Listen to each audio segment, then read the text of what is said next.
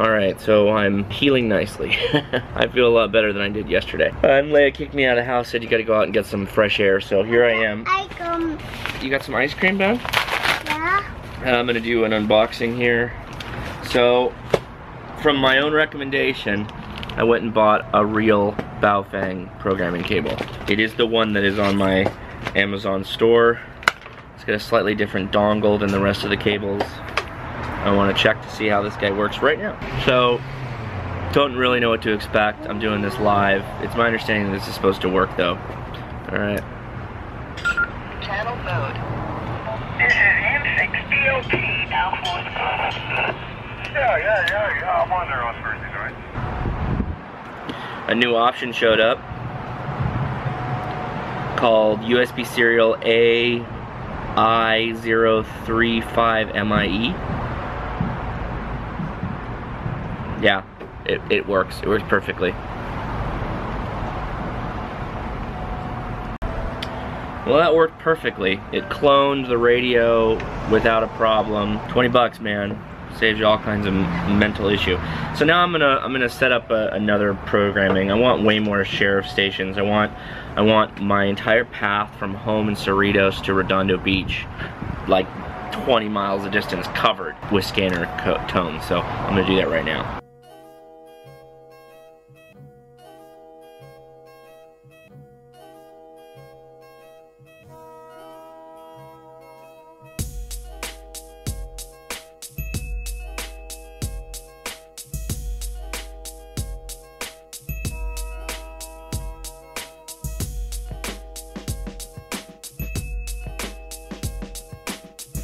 Bit of a correction.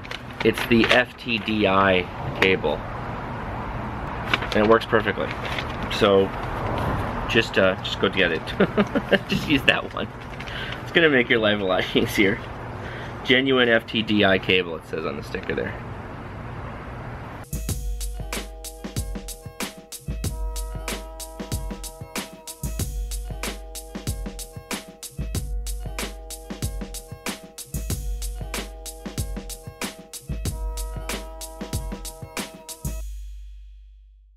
Okay, let's see how we did.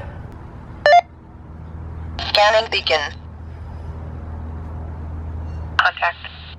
Uh, I'll say 73. Uh, thanks for picking up and Hey, uh, is, is anybody uh, hanging out on uh, 40 meters? de hacer la toma de reporte. Así que gracias a todos que nos acompañaron ahí en Ecolín. Aquí se dos Golfo. Wow, that's on TRW. We're gonna do something about that. What the heck's going on there? KD7FW radio check. Yeah, Kilo about 7 Foxtrot Whiskey Quebec here in Seattle, Washington. At about 180 feet above. This is Kilo Kilo 6 Whiskey Romeo Echo, and I'm in Santa Cruz, California. Beautiful, beautiful. So basically what I did, uh, this is now my my all else fails radio. Because this is set up for the front half of the radio channels 1 through 40 something are all scanners up and around uh, LA and uh, Santa, uh, San Bernardino. And then the remaining channels are all local repeaters that are around me and then local repeaters in San Bernardino and uh, Santa Barbara, which are the places I go the most often, Solvang and Big Bear.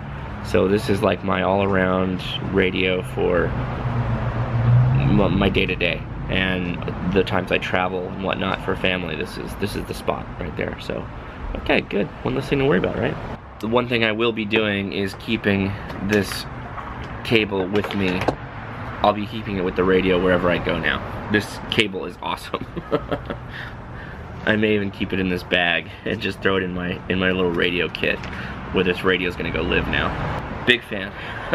Big fan of this stupid cable. It, you know, when I first started playing around with the Baofengs, I didn't think that much of, you know, fighting with it and making it work. But now that I've actually used the the, the better cable, it's like I can't. Tw- that was twenty dollars well spent. Twenty dollars of getting my time back because I think I've spent you know hours, hours playing around with getting this stupid thing to talk to my computer. Never again. Before it gets too late, I wanted to share. My dad kept these for me.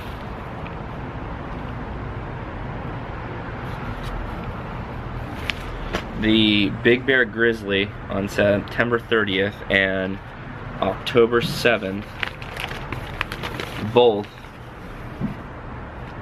ran articles on gold mines. The the first one, Lost Mines, talks about mines, some hundred something mines in San Bernardino County that are still around, abandoned. And then this one on October 7th was the Van Dusen mine, which is thought to be this lost mine that's still profitable, although nobody knows its location. And so, question of the day is, you know, what is the uh, where you live, there's always some kind of rumor of some lost treasure that if, if only people had just figured it out, had just found where that treasure is, there's some kind of mass, mass, millions of untold riches. I think of uh, Oak Island, right? Oak Island is one of those crazy stories that people talk about all the time. They even made a Discovery show about it, right? About people going to Oak Island and trying to find the these these treasures.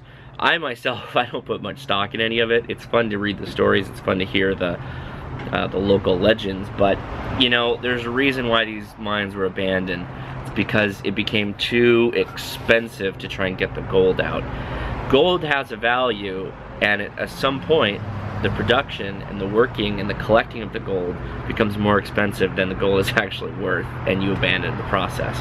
Or the vein runs dry, which is the case of most of these. Most of these is that the vein has ran dry, and that just means they're done. They're, they're just, they're dead mines. They're they're a big hole in the ground that, that man put there. One interesting point though that I thought was pretty cool uh, in the Lost Mines article, there was a guy mentioning that the way they the way they close up these mines is they use expanding foam. So they'll go up to the big holes, you know, because what basically happens with mining is once you find the vein, you just you just follow the vein. You just, if the vein is going vertically straight down, you're gonna follow it vertically straight down. And as you go, you're gonna use ladders to climb out. You're gonna carry your ore with you, and, and that's how it works.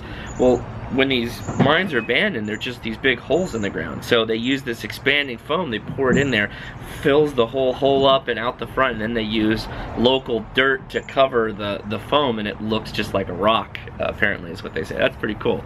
Anyway, alright guys, take it easy.